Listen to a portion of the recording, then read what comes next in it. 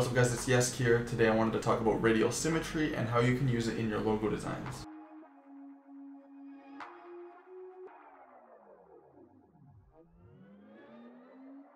So radial symmetry is simply just symmetry around a specific point known as a central axis.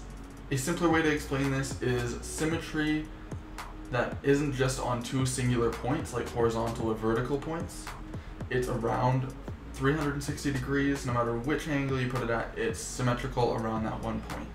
A good example of a logo I created using radial symmetry is this logo right here that I posted on Twitter, Dribbble, and Instagram a few weeks ago. And that's a good example as to how you can use radial symmetry in your logo designs without having the final product symmetrical all the way around. Personally, I'm a big fan of mathematics. I've been using them on a lot of logo designs over the last few years on my Instagram, I'll probably put a few up here right now just so you can see. And you might notice they're not all symmetrical, but they do use the same principles involved in this tutorial. Even if you're not very interested in mathematics, it doesn't take math to learn. It's pretty simple and pretty easy.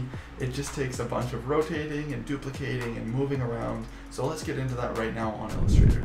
So now that we're in Illustrator, I'm just going to create a new document. I'm going to call it radial symmetry.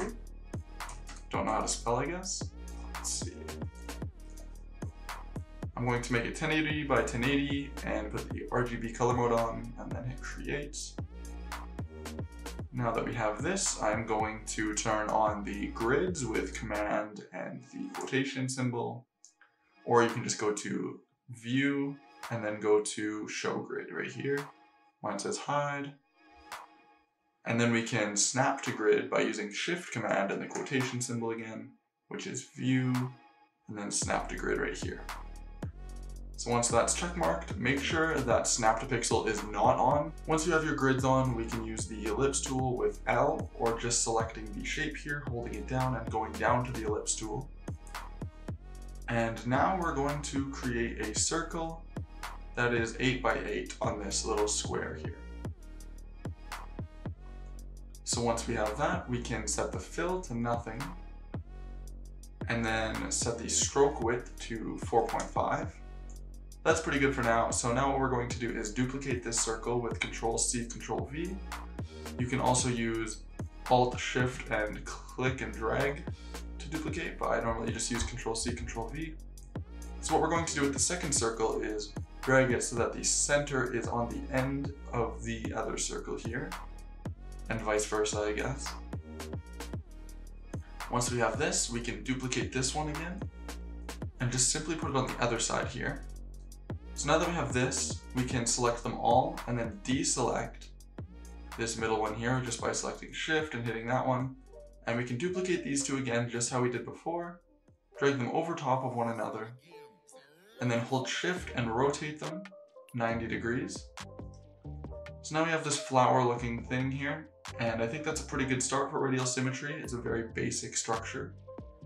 Now what we're going to use is the shape builder tool, which is shift M, or it's just right here, the shape builder tool. And what we are going to do is start just deleting things as we see fit. So for this one, I think I want to create some sort of flower because that's kind of the centerpiece here. So now there's actually two different ways of removing lines with the shape builder tool. One of them would be just holding alt and dragging across the path. And the second would be selecting that specific path and holding alt and removing it. Uh, they do have different effects. This one that holds Alt and clicks the specific path actually just removes that path from the contents of it. So you can see here now that I have her over this uh, circle, that path is just completely gone. Um, an actual, a good example of the other one here would be using this piece here. So let's just drag it over, remove it. Now you can see that this piece is connected still with this one. But if we just selected this one right on the actual path and removed it, it would just be deleted from this circle here, as you can see. So they do have different effects and knowing when to use them can be useful as well. Yeah, so for this one, I'm actually just going to hold Alt and click on these specific paths here. And they definitely have a different result on the ends here, which we can change after I've removed them all.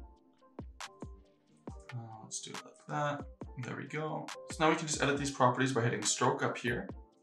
and then going to the cap and changing it to round. And that'll make it look nice and clean over the edges. So what we can do from this point is start changing it up again. And I don't really want the end result to be symmetrical all the way around, like radial symmetry would be. I actually want to just start with radial symmetry and define a new logo from it. So I'm just going to start removing these edges here. I'm just to slide across for these two. And then I think I'm just going to use these two and flip them right here. And I think that's a pretty cool flower looking logo, so we can just remove those. I think that looks pretty nice. And then I'm just going to create a line that goes down. And I think that looks nice, honestly. So what I'm going to do is just leave it here for now. Uh, if you wanted to, we could add fill and whatnot to change it up. Just like so. Quickly add it. This isn't really a tutorial on colors, so it'll just be quick here. Just cover that. There we go. So there's a basic little flower logo. Let's make this pure black. There we go. And that's just one example as to how you can use radial symmetry, and that's a very basic example. Uh, the next one I'm going to start with is a square, and I'm going to do the same 8 by 8 Let's see, no filling in. and just that 4.5 stroke. Let's make sure it's pure black this time. There we go. Now from this, I'm going to duplicate it here, just like how we did the circle, the exact same way. Do it again, put it on the other side, grab the other one, and duplicate them both at the same time, drag them over top, and rotate them 90. Now the only difference with this one is I'm going to grab these two again, along with the top and bottom two. I'm going to duplicate them, put them over top, and then rotate them 45 degrees by holding shift and dragging. Now it's a completely different shape, and I still think we can make something cool from it. So I'm just going to select them all, use the shape builder tool here, and simply start messing with it. That's all I'm gonna do. Uh, let's see. Let's move this here, this here, this here. I normally just like to go all the way around the radial symmetry here and make sure it's all the same with the things that I'm editing.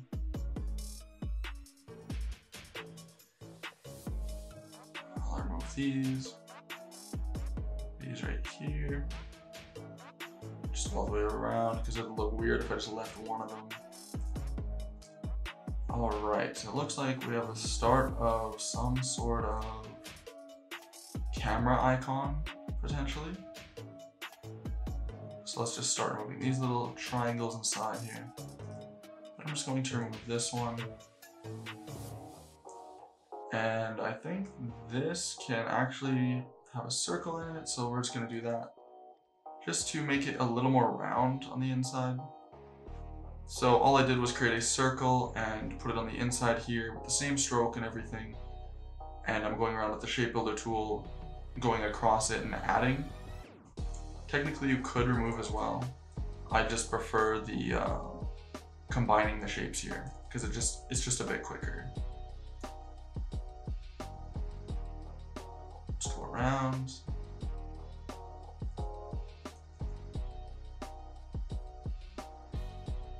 So let's try it on the outer ring as well. Just creating a circle that goes around it all. And then we are going to, so what I'm going to do for this one is just combine them and then delete them, or just delete them both at the same time by holding Alt and dragging across them. These spaces here.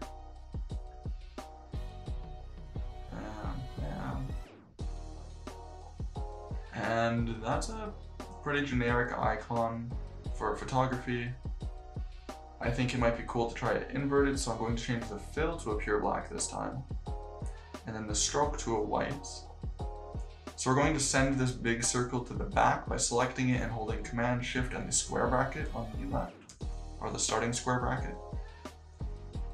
And now it looks like we have a nice little camera icon logo. It's really nothing special, but it just goes to show you how easily it can be created using radial symmetry and basic shapes like squares and circles.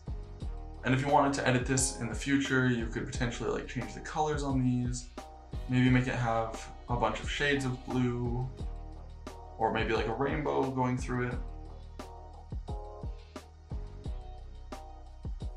So I'm just going to change it up really quickly here.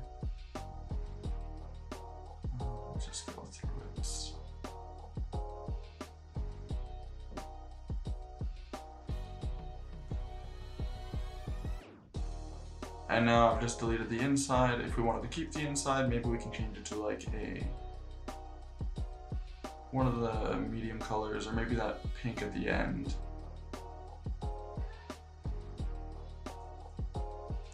Maybe we can make it a little bit smaller here by just creating a new circle and deleting that one. Yeah, I don't know. However you guys want to do it, that should be fine. Just a quick example.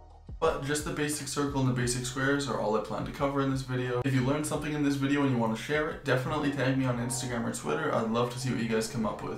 Thank you for watching the video. Please leave a like if you learned something. Thank you guys for 400 subscribers. For 500, I'm going to give away one of my embroidered hoodies. I wanted to do that to show my appreciation for the community that I've built. And I hope you guys do subscribe if you're interested in seeing more content like this or receiving one of these sweaters. Uh, I hope you guys have a great day and peace out.